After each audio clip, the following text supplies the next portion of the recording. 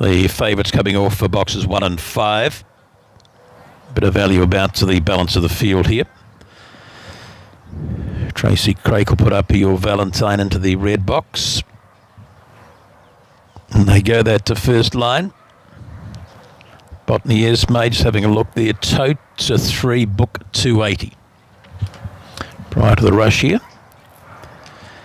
Out wide, it's a must. We're locked up for the sixth of the day. Round it comes, set ready.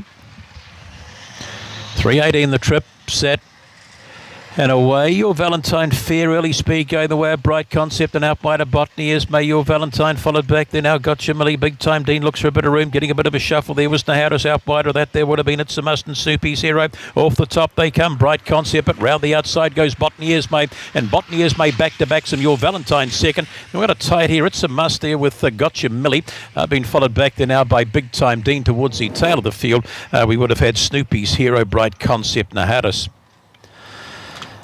and uh, getting them nicely in the end was the five, and that being uh, Botany Esmay back to back some 518 and the four here. And a time of 18 and 71 home and 1409. And that first section for you. Uh, but uh, found the lead, got a bit of speed, uh, has the bitch and has proved too strong. Your Valentine getting home strongly. Bright concept just packing up over the top come the eight and the four to lob with that. Uh, second, uh, the third and fourth spot. They're about a length and a half, I think it was. Uh, went up on the board. The Hesse lids going up. So your Valentine astride, slow speed, bright concept, and just up on its back there was Botany Esmay inside there. Your Valentine. A bit of a shuffle back there. The seven got into a bit of trouble, forced out the eight, and back there was Snoopy's here. One and a quarter official margins uh, by two and a half lengths. Back to Baxham after that win at uh, Cambridge the other day for Phil Green and the Thompsons. Your Valentine, the Craig charge. Barcia Bell catch a fire in the gate. It's a muster for these steels. Jagger Swagger. It's a blur first for the fourth. Got Jamili. Over we go to seven. Put the line through with the seven there. Red D gets in there. A minute past three.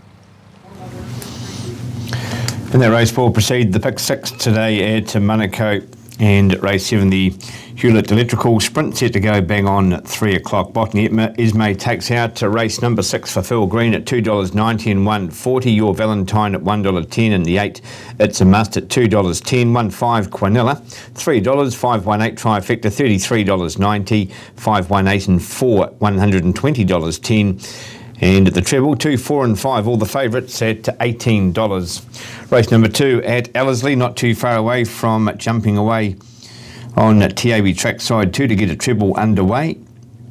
Our next race here on TAB trackside 1, we're heading back to Rangiora for the trot. And in this race, support for BK Dawn for Samantha Ottley, looking to chase down some points in that to driver's challenge. Such fun as the loose favourite, $5 here for Craig Thornley, and $5 with the book 740 on the tote. We'll come to you, Greg O'Connor, for race number six. Thanks for your company for the first part of the day. Cameron Shaw will join you after this. Hope the rest of the day goes well for you. Very good afternoon. Yeah, thanks, Daryl. Uh, have fun for the remainder of the, the Sunday. We're getting to the halfway point here, and it's gone pretty quickly so far. This is a wide open go.